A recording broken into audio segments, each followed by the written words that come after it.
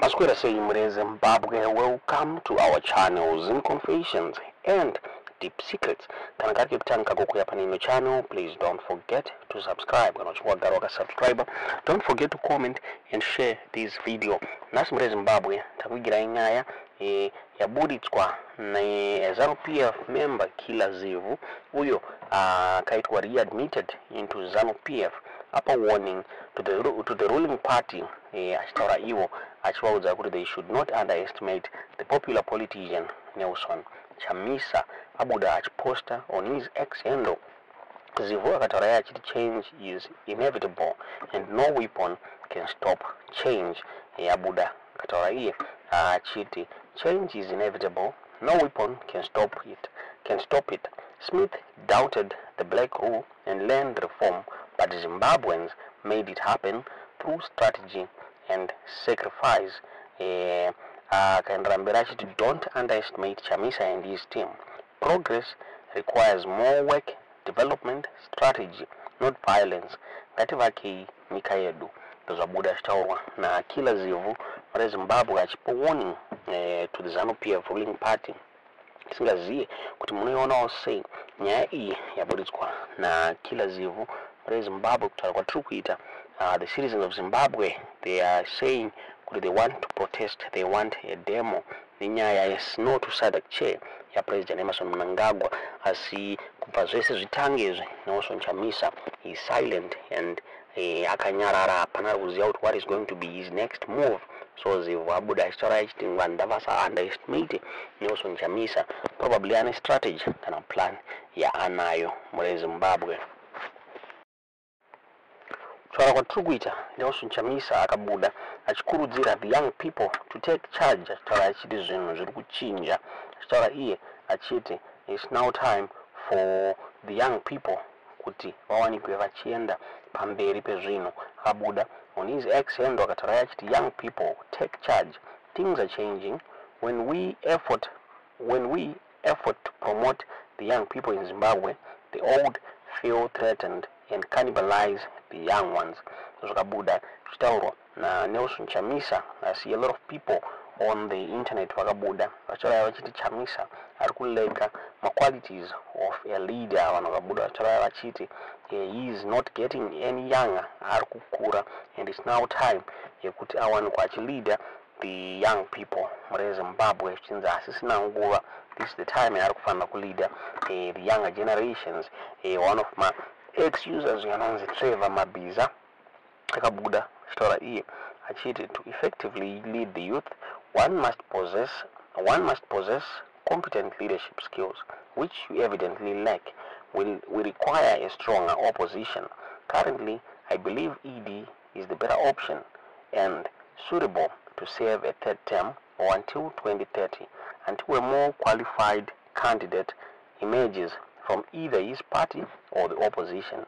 Till then, how can we youths lead?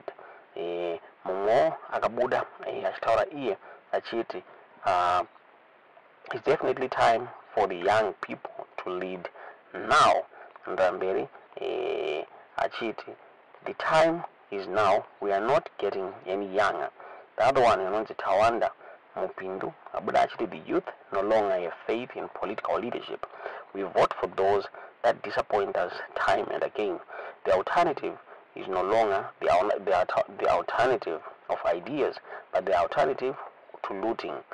Promise after promise but nothing gets delivered.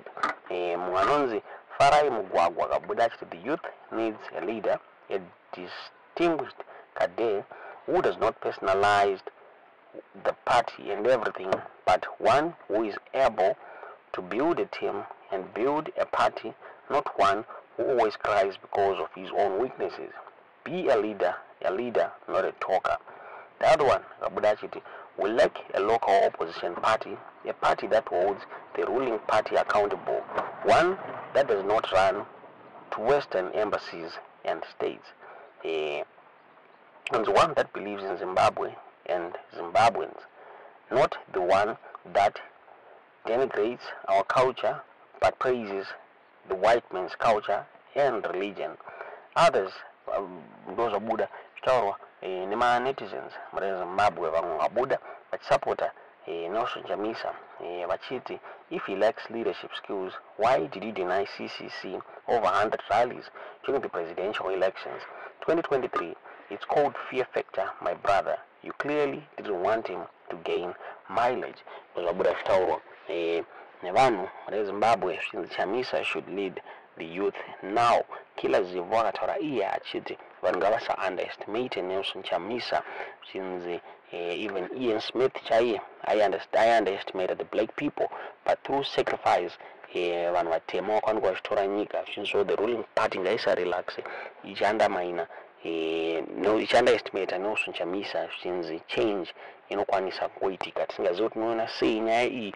Tiudziwo zvamuri kufunga pamusoro penyaya iyi mucomment section kutaura kwatiri kuita there are people from the diaspora vakutaura vachiti they want change and they are planning to do maprotest murezimbabwe e, tisingazivi kuti here kana kuti tiudzewo zvamuri kufunga pamusoro penyaya iyi mucomment section.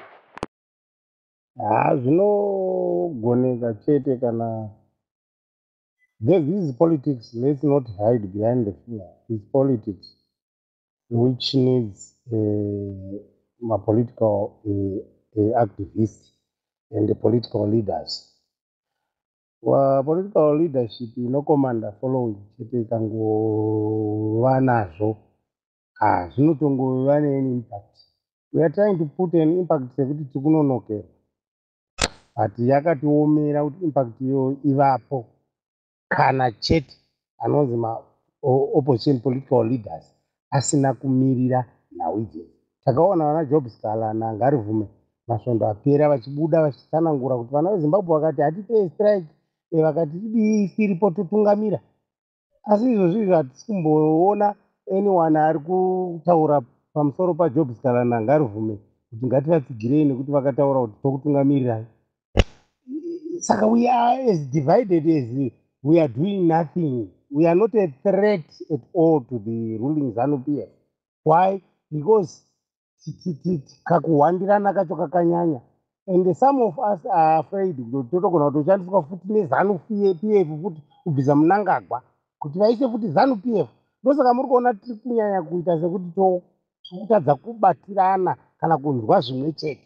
Yes we want munangagwa to go. Sezvatakaita pana mugabe we will gather together tekuti taiti mugabe must go. Ende tichifunga kuti kuenda kwamugabe ndokwaizotisunungura izvo kwakusiri izvo zvitogona kuita zvamwe chete izvozvi nokuti hapana kuchainaka tiri kurwisa munangagwa munangagwa munangagwa munangagwa wobva pava pauya chiwenga kana kubva pauya kasukuwere what are we doing? Tine dambudziko hombe rekuti kusvika chete sendakakudzai pacho kana pachena kuti kusvika chete chamisa ataura kuti kuri kuitwa strike ndo pamunoona tsoka yangu kuno strike. Handinohwegwe zvisina nebasa rese. Halo halo halo. Ya apa